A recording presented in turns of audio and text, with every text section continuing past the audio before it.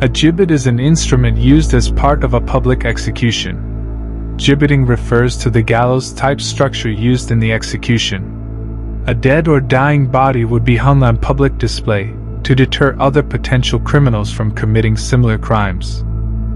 Gibbeting is used as the means of execution, essentially leaving the condemned person in a small cage with no means of escape to die from exposure to the elements, or from thirst and starvation.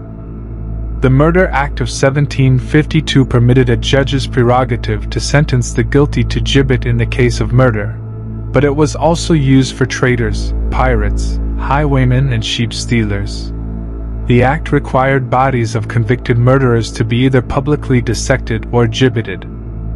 The gibbet was placed at crossroads of highways and waterways as a warning to others who meant to break the law. It's also called hanging in chains. It was a rare, notorious, horrifying punishment, which gathered quite the crowd to witness the spectacle of a gibbet being erected. According to rebel circles, a blacksmith designed and constructed the gibbet to fit the size of the person. The gibbet cages were designed so the rotting body stayed together, holding the shape of the person. The person's chin and nose were usually strapped in place, and their arms and legs were left to dangle in the air. If a person had dared to attempt to help a person in a gibbet, their efforts would be futile.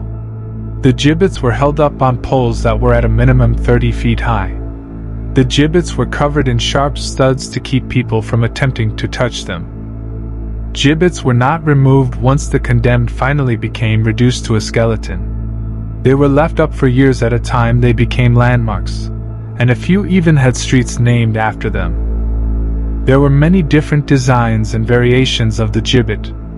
Some kept the condemned in place by impaling the back of his head on a spike, but that was later stopped because it allowed for the condemned to die too quickly.